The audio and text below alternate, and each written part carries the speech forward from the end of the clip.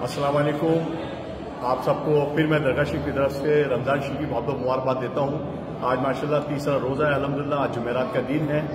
और माशाल्लाह जैसे मैंने हमेशा आपको बताता हुआ तो ये जो भी सारा जो इंतज़ाम है, ये सब अपनी दरगाह हज़रत महबूब इलाई यानी हज़रत निज़ामुद्दीन महबूब इलाई की तरफ़ से होता है। और आज, माशाल्लाह, जुमेरात है तो आज जो है, चार पाँच हज़ार आदमी जो है यहाँ दरबार शरीफ के अंदर रोज़ा खोलेगा।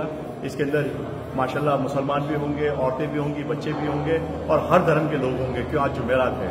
तो माशाल्लाह, हर आदमी चाहता है कि मैं दरगाह में रोज़ा खोलूँ और रोज़े के साथ साथ जैसे आप देखते हैं हमेशा, माशाल्लाह, यहाँ पूरा रोज़े का अफ्तार का पूरा इंतज़ाम रहता है, अफ्तारी का इंतज़ाम रहता है, शरबत का इंतज़ाम रहता है, माशाल्लाह, खाने का इंतज़ाम रहता है और सब जो है, ये सब दरगाह से महबूब की तरफ़ से होता है। अल्लाह हाफिज़।